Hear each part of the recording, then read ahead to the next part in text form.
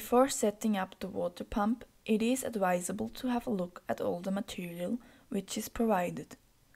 Solar panels are needed, the pump itself, cables and pipes, and two different types of hoses, a suction hose as well as a pressure hose. When opening the box, you will find the pump inside. The pump itself is normally ready for installation. We always advise people to test it first in a bucket of water to make sure everything runs smoothly.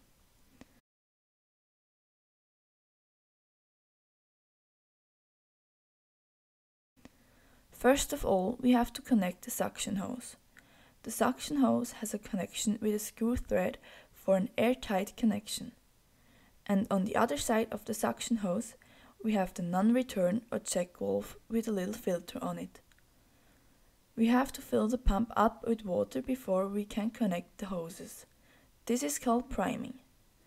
It is advisable to put some water in the suction port as well as the pressure port.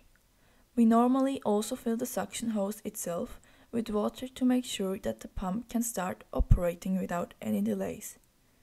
Screwing on the suction hose can be a little bit tricky sometimes, because we have to put on the hose at the right angle and then completely tighten it. Otherwise, if it is still loose, the pump might suck air into its system, which will lower the efficiency of the pump system.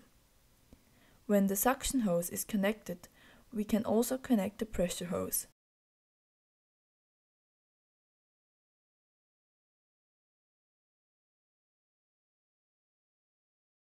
As you can see, there are two different connections.